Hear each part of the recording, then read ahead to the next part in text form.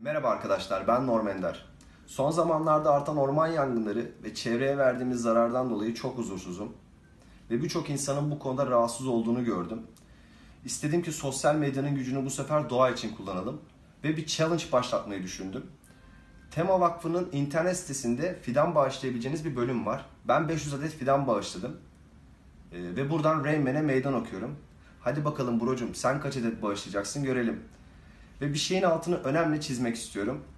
Doğa bize muhtaç değil, biz doğaya muhtacız. O zaman Fidan Challenge başlasın.